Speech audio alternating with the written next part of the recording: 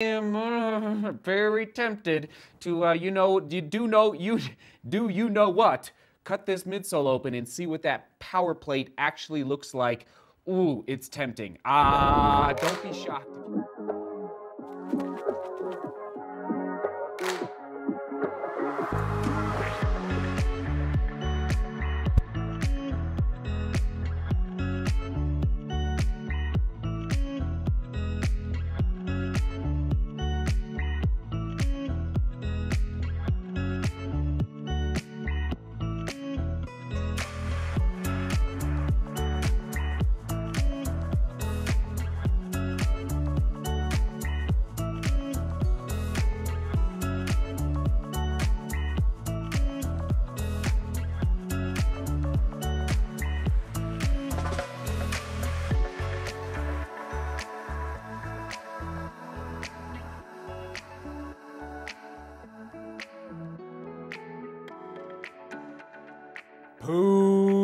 Puma, Puma.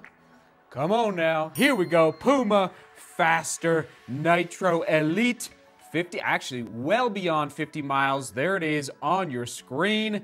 We, uh, we just got rolling in it and didn't stop. I think that's the highest uh, volume I've taken a shoe to in 2022 thus far. It just kept clicking off those 23 mile long runs. In fact, uh, the last run that I did in the shoe, upper right hand corner, I did take it 23 miles, 620 a mile, uh, with some pretty good vertical gain in case you want to go watch that vlog. Upper right hand corner, here we go. Let's dive in. A neutral road carbon fiber plate racing shoe with it's called the power plate inside the midsole and it's exposed all right i'll just show it to you right now there it is a very unique design fascinating, fascinating Puma, what you're doing with your. I am uh, very tempted to, uh, you know, you do know, you do you know what? Cut this midsole open and see what that power plate actually looks like.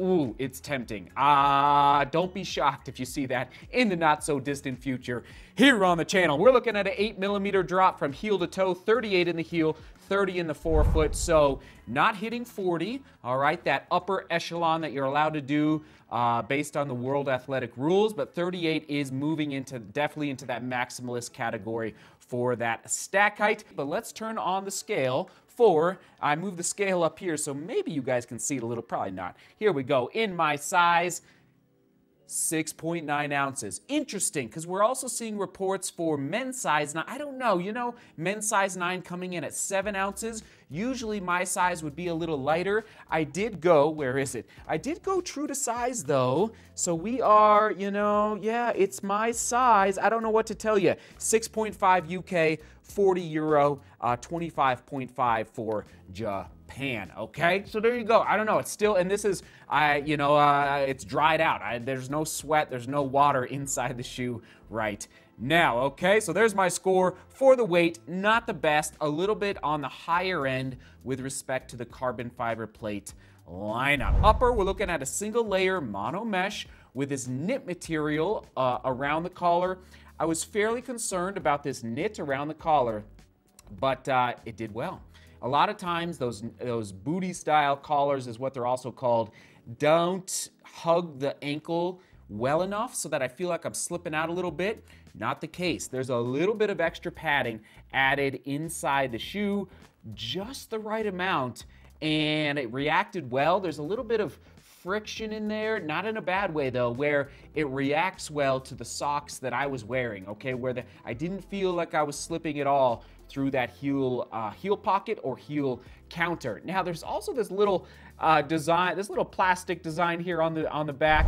I don't know, maybe for a little added stability feel, or I, I think it's more for aesthetics than anything. But just keep that in mind. There, it is a one. Let me just confirm. Actually, no, interesting. It's actually more of like a semi gusset through that tongue. Um, there's no extra padding added. Really, I don't know, but I didn't feel the laces at all. And I wanted to make a note. The laces felt like they had a little bit, let me just confirm, just a smidge of elasticity built into the laces that locked over the top of the foot really well. There's my score for the lockdown.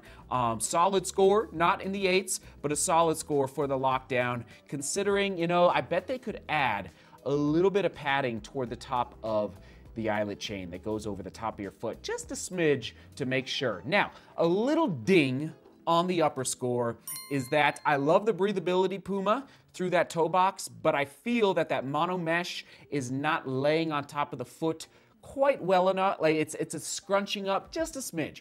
Didn't irritate me. I didn't really even feel it except for when I was lacing and putting the shoes on. Uh, so keep that in mind. Like that that is a ding in my department. I really like when the toe box material lays on top of the foot basically flat as a you know just it just like hugs the foot a little more so but it but uh, it, it didn't impact i would say the performance at all but uh, i don't um, i think that's something they could improve upon next year all right but overall i'm feeling solid about this upper i really am puma moving on to that nitro elite foam through the midsole dual density this is where durometer, durometer comes into the comes into the fore. Okay, so here we go. Oh man, where to even begin? So ride and energy return. Mm, there. All right, soak that in. Soak that score in. Here we go. Durometer in the heel. Okay. 47. I had 48 outside uh, when I was uh, getting prepared. This is saying 47 now through the heel. Okay, take note. Through the forefoot. Here we go. Different. Okay. I had 33. Let me just find a more flat right about there. 36. All right, so dual density, and I love it. Um, all right, should I just dive into it now? I was gonna save it. Uh, I'll just say it now. Stability. On my 23 mile long run last weekend at 620 a mile, there's 2,000 feet of vertical gain on that loop that I do, and I was attempting to feel unstable underfoot in this shoe, I couldn't do it. It felt so stable and frankly, quite a bit different than the Nike Next Percent 2, which I also took on that exact same loop for the past like two weeks before I tested this shoe on that same loop. So there's a lot of downhill, uphill, downhill, sharp corners, also sand on the road, on the paved road because it's wintertime and so the, the sand trucks put out uh, sand for the snow and the ice. I just could not create an unstable feel in this shoe. I think part of it, part of it is because of this dual density setup they've got going. I'm excited, everybody. All right, so there's my scores. Overall, I'm I'm so that in that power plate. Let's do this. Oh,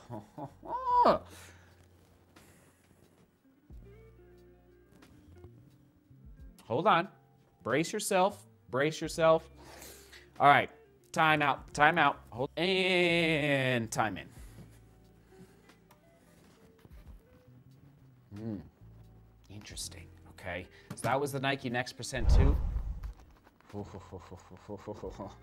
I don't know. I don't know, everybody. It's feeling pretty zesty with that carbon fiber plate.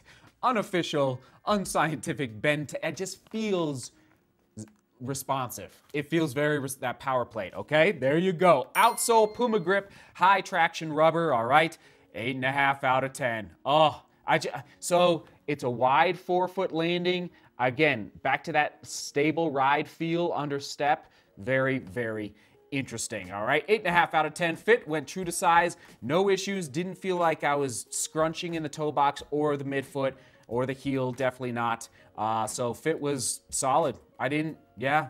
And I was a little, again, a little concerned about that collar wrapping around. Comfort score, um, it's not an RC Elite 2 type comfort score. Not that squishy. Actually, let's do this durometer test as well. Yeah, mm, nice, nice, okay. Mmm, man, it's nice, everyone. It's a nice little forgiveness under step. You're not gonna feel, you know, it's not the Adios Pro, Pro 2. It's frankly not even the Nike. It's, it's got a little bit of comfort built into that midsole. And the upper was fine as well. Um, and again, it's a racing shoe, so I'm not quite as concerned about comfort in a racing shoe. Positive is the stable ride. Drawback is the scrunching through the toe box. Durability prediction 350 plus. I'm going 350 plus. A smidge of creasing at 70, what is it, 78 miles roughly is I think what it, uh, we're at now. A little bit of, but not too shabby. And I think that upper, the upper should last. I don't see any wear and tear signs on the upper at this point. All right, who's the best for? If you, this is this is tough, but if you want, well, first of all, stable ride, but a new player in the 2022 carbon fiber plate game. All right, we need a new player on the scene. We got it. We got it. This is, I'm not saying it's, I don't know if it's better. Actually, we're to get to the uh, price point right now. There it is, $220. Pretty standard at this point, okay? Uh, 250 is on the higher end. 275 is definitely. 200 is real nice. You know, 200 is real nice. So 220, fairly standard at this point in the carbon game. Now, other shoes to buy on your screen, okay? I am, this is hard, but if I had to choose shoes in order, there they are on your screen, I think I'll put it in the as close to the Endorphin Pro 2 as possible as far as feel under step. It's hard. It's hard. But and then Metaspeed Sky, Next Percent 2, Adios Pro 2. RC Elite 2 is just so soft. Um, maybe the RC Elite 2 actually would bump ahead of the Pro 2 now that I think of it. But anyway, there's the other shoes to buy in case you're interested in picking them up, picking them up down below in the description. All right, quick specs, uh, soak them in one more time. Single single layer mono mesh, Nitro Elite foam, and that $220 price point. Full review score, hello, 7.75 out of 10. That's awesome. Solid, solid Puma.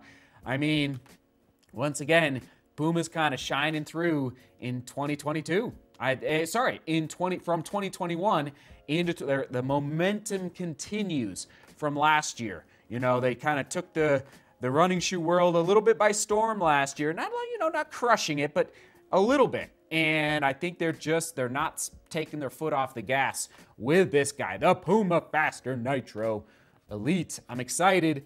Don't be shocked if we see that plate revealed very, very soon. Comment of the day, question of the day. Here we go. Can you get the comment of the day? When I think of Puma, I think of the very first pair of running shoes I ever got when I joined my high school track team in 1970. They actually gave us a pair. That's amazing that your high school track team gave you a pair of shoes, of Puma running shoes. They were black with rounded toe boxes, and I believe they were really for sprinters, not middle distance guys. I wish I had a picture or could remember the name. Ken, a throwback. I love it. I love it. I love it.